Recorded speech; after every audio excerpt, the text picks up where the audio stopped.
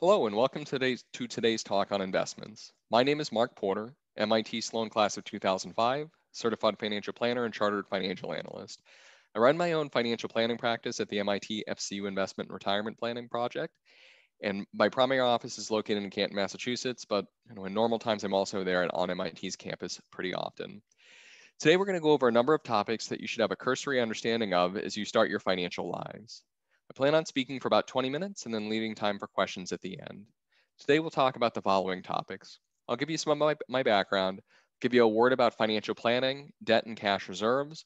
We'll discuss the power and the importance of saving, tax treatment of different types of accounts, the investing building blocks, asset allocation and rebalancing, some other random invest investing topics, mutual fund share classes, and some of the different types of advisors that you may run into, again, as you navigate your financial life. So again, my name is Mark Porter. I came to MIT from Canton, Ohio, graduated in 2005 with a major in finance and a minor in economics. After graduation, I started my financial planning career and in 2008 earned the Certified Financial Planner designation. In 2011, I left my Fortune 500 firm in order to start my own independent practice. I volunteer on several, several committees around MIT. I'm on the Council of Examinations for the Certified Financial Planner Board of Standards, and the past, past Scoutmaster of Canton's Boy Scout Troop, and I'm a member of Canton Select Board. I work with my clients in many ways. While I do work on both investments and insurance, I feel the most important part of my role is acting as my client's personal CFO. My job is to understand all of the elements of your financial situation, understand your goals, and give you recommendations to help you achieve those goals. So before we talk about investments, I wanna make sure you understand some general principles of financial planning. So before investing, there are a number of things to consider. You always need to start with your goals, as many decisions are based on time frame. Money that will be used in a year will be invested very differently than money used in 40 years. Also, you shouldn't invest to the detriment of your cash reserves. An adequate cash reserve must always be goal number one. Anywhere between three and six months worth of your expenses should always be kept in a reserve. Also, many of my clients ask that now that they have this excess cash flow, you've started work, should they pay off their debt or should they invest? Well, there's no definite answer. It usually comes down to two big factors. What is the interest rate on the loans? And if the interest is tax deductible. And again, I wanna stress, you folks are in a really great spot. As you start work, you're about to get a rapid increase in income upon that graduation. And the challenge is to make sure that your expenses don't grow at that same great rate that your income grows. The graph that we have here on the screen illustrates the advantages of starting to save early. If you take one thing away from this talk, remember, a vast majority of wealth is accumulated through superior savings, not superior return. Now, when you invest, there are a number of different types of accounts that can hold your investments. The account itself does not have a rate of return. What you choose to invest in within the account does. The most basic type of account you can invest in is a non-qualified or taxable account. There's no special tax treatment. When you earn money or there are gains, you pay taxes. A 401k is an employer sponsored retirement plan that allows you and your employer to make pre tax contributions. Those contributions, when taken out after age 59 and a half, are taxed as ordinary income, and if taken out before 59 and a half, are also assessed a 10% penalty. A 403b shares many of the characteristics of a 401k, however, it's usually administered by a not for profit company. A 457 plan is usually administered by a governmental organization and does not include employer contributions. A SEP IRA is an employer-sponsored plan where only the employer makes pre-tax contributions. These plans are often used if you're self-employed and have no employees. A simple IRA is another type of employer-sponsored plan used by smaller companies. It shares many similarities with the 401k, but has lower contribution limits and is less expensive for the employer to maintain. A Roth IRA is an account that you can open yourself versus one of these previous accounts which are sponsored through your employer. Contributions go in after taxes, and if taken out after the later of five years or age 59 and a half, the growth comes out tax-free. Now that you have that background, let's talk about the investments themselves. First, always keep in mind that if it sounds too good to be true, it probably is. A stock is a unit of ownership in a company. If you own a share of Apple, you own part of Apple. Most well-known stocks have millions of shares traded every day on public exchanges. The price of the stock moves with supply and demand. As demand for the shares increase, the price goes up, and as demand falls, the price drops. Making money from buying a stock at a low price and selling it at a higher price is called capital appreciation or a capital gain. Now, as the owner of a company, you may also be entitled to some of the company's profits. When the company makes a profit, the board of directors can choose to reinvest those profits to improve the company or distribute the profits to the owners. Generally speaking, companies that are growing quickly reinvest their profits, and companies in established, mature industries pay a portion of the profits out as dividends. Making money from a stock in that fashion is generally called an income strategy. The payment of dividends is not guaranteed. Companies can or may reduce or eliminate the payment of dividends at any given time. Stock investing involves risk, including loss of principal. Now, bonds are units of debt issued by a company. You loan your money to a company for a period of time and they pay you back interest. At the end of the term, they'll also give you your money back. The price of bonds move but not nearly as much as the price of stocks. Usually, most of your return comes from the income that's paid. Bonds pro provide a nice insulator when the stock market drops because as long as there's no fundamental changes within the company, even if their stock drops, they still pay their bond income out. Now remember, there are millions of investors out there that are trading and trying to make a profit. With so many people working so hard, it's difficult for the individual investor to make a good risk adjusted profit, even if they dedicate lots of time and research into monitoring those investments. That's why many investors use mutual funds. With a mutual fund, you essentially pool your dollars with other people to hire a professional manager that purchases as few as 20 or up to hundreds of different stocks or bonds. With open ended mutual funds, you only get the buy or sell price at the end of the day. ETFs or exchange traded funds provide the diversification of a mutual fund with intraday trading ability and potentially lower fees. ETFs mimic an index of stocks, so while they're well diversified, there's no manager that needs to be paid. ETFs trade like stocks, so they can be bought and sold throughout the day. However, this, since this investment simply mimics the index, there's no manager there to invest heavily in good companies and stay away from bad companies. Both mutual funds and ETFs choose their holdings based on a mandate. Usually with an ETF, the mandate is to mirror a specific index. With a mutual fund, the mandate can be narrow, such as only buying large cap dividend paying US stocks, or broad, such as buying an asset allocation fund with a certain risk profile. Now, there's an ongoing debate on whether mutual funds or ETFs are the better investment. The mutual fund has the advantage of an active manager. The ETF has the advantage of lower fees and intraday trading ability. In my practice, I use both. I find there are some areas of the market where a manager consistently does better than the index after paying the fees. In other areas, I find the manager cannot justify their charges. Overall, though, I don't feel that there's a wrong answer because your wealth will be much more based on how much you save rather than if you choose to invest in mutual funds or ETFs. Now, mutual funds, bonds, and ETFs will fluctuate in value, and loss of principal is possible. Bond values have an inverse relationship with interest rates. For example, when interest rates generally rise, bond values drop and vice versa. If you were to sell your bond prior to maturity, you may receive less principal than, than you invested.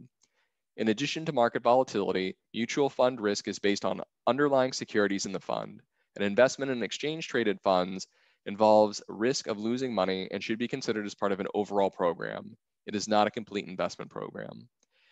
An investment in ETFs involves additional risks, such as not being diversified, price volatility, competitive industry pressure, international political and economic developments, possible trading halts, and tracking errors.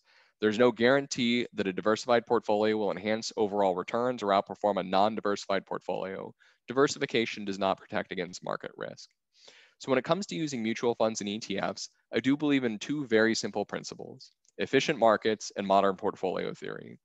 If you believe in efficient markets, you don't believe you're smarter than everyone else. Simply, the prices of the stocks are based on all of the publicly available knowledge. If some new information comes out, the price of the stock adjusts almost immediately. This is why I don't pick stocks for my clients. If I'm using the same information as everyone else, I'm not going to be able to outsmart everyone else. If I'm using information that no one else has, I'm breaking the law. So very simply, modern portfolio theory breaks returns into three categories market timing, security selection, and asset allocation. Asset allocation and rebalancing is responsible for over 90% of investor returns, according to a study by Brinson and Beebower. But how do you practice asset allocation? Asset allocation involves having a mix of various asset classes, such as large companies, small companies, international stocks, and bonds, and setting that mix to provide the best expected return for a given level of expected risk. It's important when you design your asset allocation to understand the level of risk you're taking. When markets rise and fall, the allocation will move, so rebalancing back to the optimum allocation is also an important step. You can build an asset allocation in two ways you can buy a single fund called either an asset allocation fund, a lifestyle fund, or a life cycle fund that will do the asset allocation for you. You can also go out and buy a large company fund, a small company fund, an international fund, a bond fund, etc. Now you need to monitor the funds to make sure they're still performing well compared to their peers. You also need to monitor the distribution between these funds over time. Now, whenever you open an investment account, you'll have to pay fees. Now, there are different ways that those fees can be paid. First, all mutual funds and ETFs, all mutual funds and ETFs have what's called an expense ratio. The expense ratio pays the expenses incurred by the fund. These ratios are usually noted in basis points. 100 basis points is equal to 1%. You can find the expense ratio wherever you look up information on the fund, but you won't ever see it directly billed. All returns you see are already net of this ratio. As we discussed before, ETFs carry lower expense ratios, according to the Investment Company Institute, maybe between 10 and 50 basis points, while mutual funds carry higher ones, usually between 75 and 200 basis points.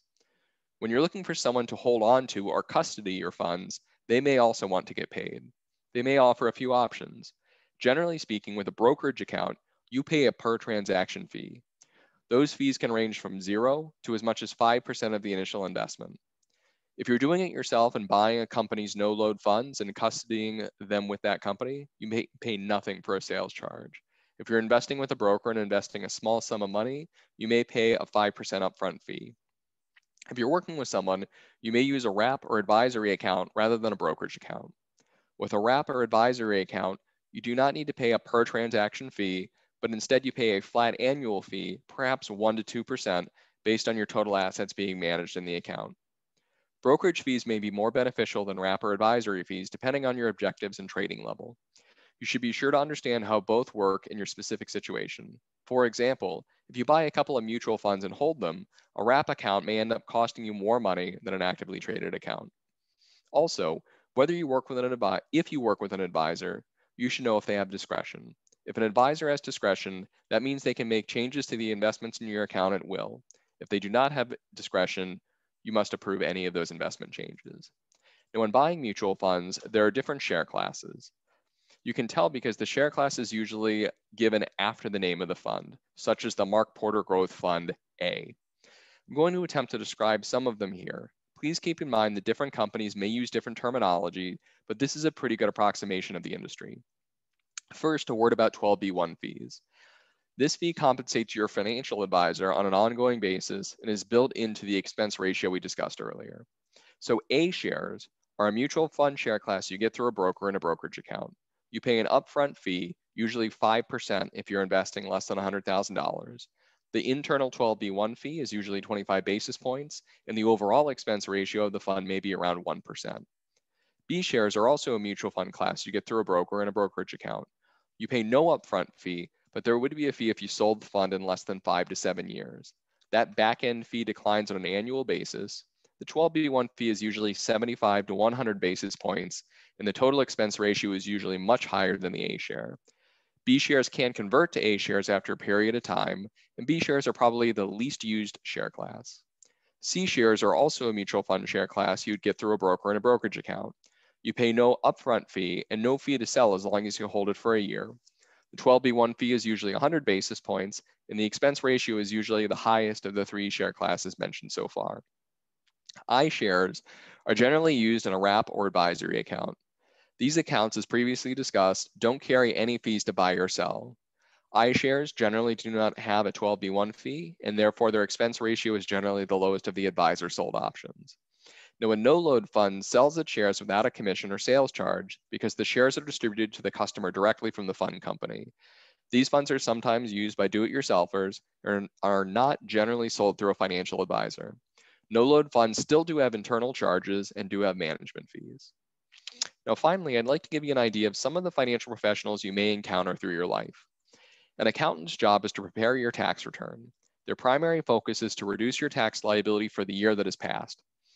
They have, they're very important to many of my clients, though not everyone has a situation complicated enough to need an accountant. The most important thing to consider, though, is that accountants focus on reducing your taxes today. It may not necessarily help you with planning 5, 10, or 20 years down the line. A broker can help you invest money or buy insurance. Brokers are generally experts in the products that they sell and get paid per transaction. While they're required to make sure that what they sell you is suitable, they don't necessarily have to follow a fiduciary standard, so to look out for your best interests. Now, finally, there are financial planners.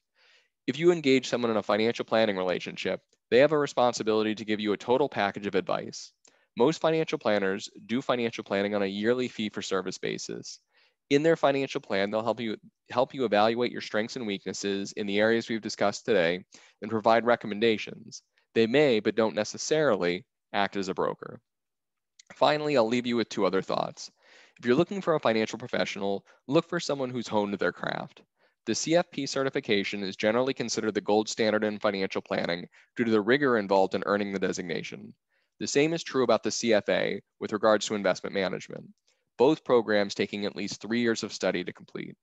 Anyone can call themselves a financial planner, but if you sign, find someone with these credentials, you know that they spent some time honing their craft. Also, I'm often asked by younger clients if it's worth their money to hire a financial planner. Well, it greatly depends on your situation. Here's one way to look at it. If you make $50,000 a year, your hourly rate is $25 per hour. If you spend one hour per week doing financial planning, you're spending about $1,300 a year of your time.